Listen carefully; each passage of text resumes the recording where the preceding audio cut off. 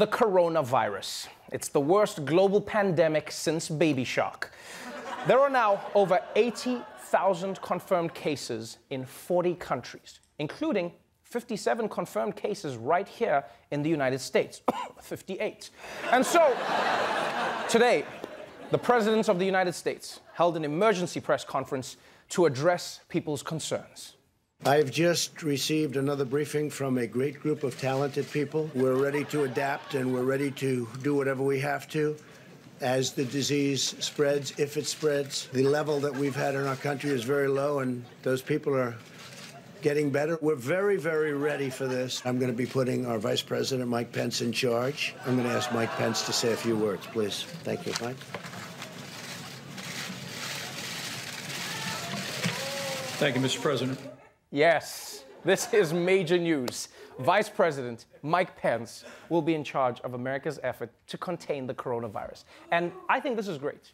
Yeah, because Mike Pence has a lot of experience in this area. He's been quarantining himself from women his whole life. this is great.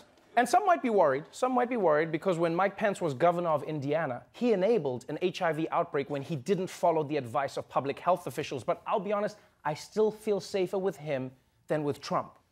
Right? Because Trump, first of all, if you saw the briefing, didn't seem to know anything that we didn't. It's like he just gets his news online with us. Just like, I, I saw a thing, it looks bad, it's really pretty bad. It's like some people have it, a lot of people have it, you might have it, I I, I don't even know if I have it. And earlier, earlier this week, earlier this week, when Trump was briefed on the virus, he seemed less concerned about a pandemic hurting people than he was about it hurting the economy. Because that's Trump's real nightmare, right? If his stock market gets sick, yeah, he would be like, no, not my poor stock market. not Wall Street. I'll nurse you back to health with my special chicken soup. It's a KFC bucket poured with Diet Coke. It's delicious. Don't judge. Don't judge. The Diet Coke undoes the KFC. and also, also, when Trump first talked about the coronavirus earlier this week, I'm not gonna lie, it wasn't exactly reassuring. The uh, coronavirus, which is um, you know, very well under control in our country. We uh, have very few people with it. The people are getting better. They're all getting better. And I think that whole situation will start working out. A lot of talent, a lot of brain power is being put behind it. Two and a half billion dollars we're putting in. There's a very good chance you're not going to die.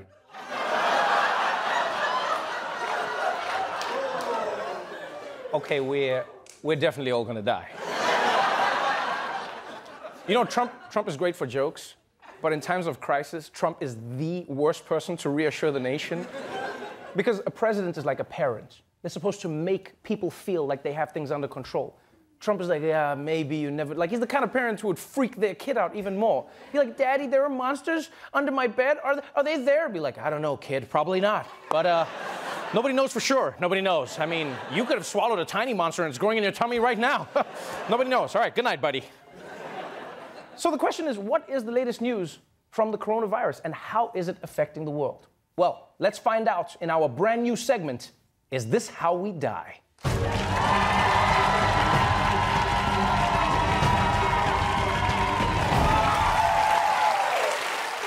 Today's catastrophic threat to humanity is the coronavirus, also known as COVID 19 or Covfefe.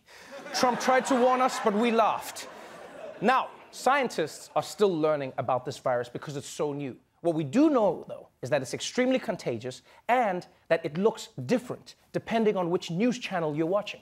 Yeah, on NBC, it looks like fish eggs. On ABC, it looks like Nickelodeon slime. Uh, on CBS, it looks like radioactive cauliflower. And on Fox News, they just made it look like Hillary Clinton. Lock it up!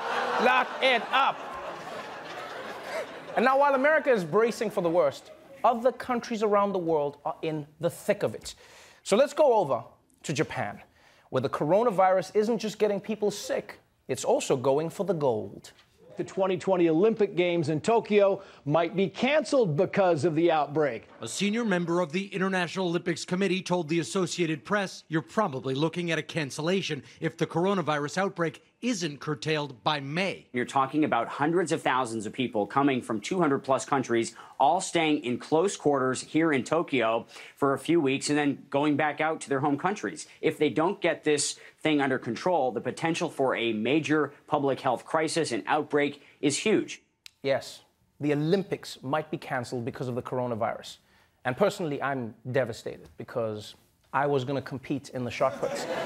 Yeah, no, for real. One of those big guys was going to throw me. now, canceling the Olympics is a pretty big deal.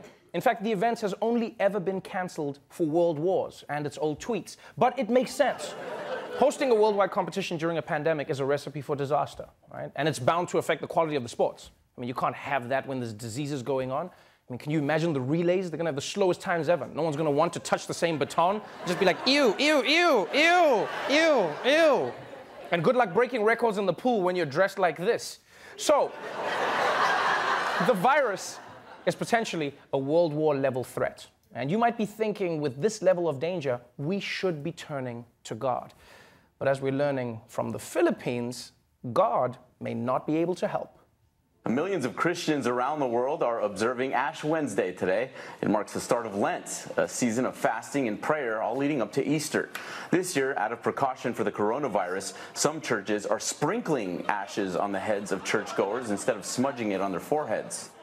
Yes, as unbelievable as it sounds, because of the coronavirus, many Catholic priests are just sprinkling ashes on their parishioners like a religious Salt Bae. And that's how you know the coronavirus is serious. Because even the church is afraid. Like if coronavirus was around in the Bible, Jesus would have been like, I will lay hands on this leper and I will raise the dead. And for the, oh, coronavirus. No, no, no, no. I'll, let me turn this water into Purell. I ain't touching that shit. so Japan and the Philippines are taking major precautions. But all the way over in Iran, things are already getting out of control. Iran has suffered the highest number of coronavirus deaths outside of China, with 15 dead and 95 cases reported. On Monday, the country's deputy health minister went on TV insisting the Iranian government had the coronavirus under control. But the very next day, it was announced that he himself had contracted the virus. Are you shitting me? The health minister came out saying everything is fine, but then he's got the disease? So not only is this virus super contagious, it also has a sick sense of humor.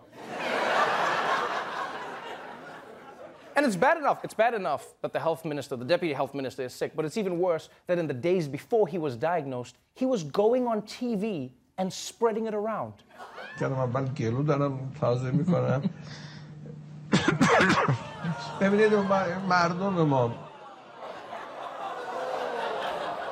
I think it's safe to say that that guy's career is over because, let's be honest, a health minister that gets sick will never be trusted again. Yeah, it's like everybody needs to wash their hands. People are like, man, why would we listen to you, you sick ass bitch? so that's where we are now. The coronavirus, which started in Asia, has now spread from Europe to the US, the Middle East, and all the way, as of today, to South America. So remember, people, wash your hands, try not to touch your face, cover your cough, and stay away from that Iranian health official. and if you do all of those things, there's a good chance you're probably not gonna die.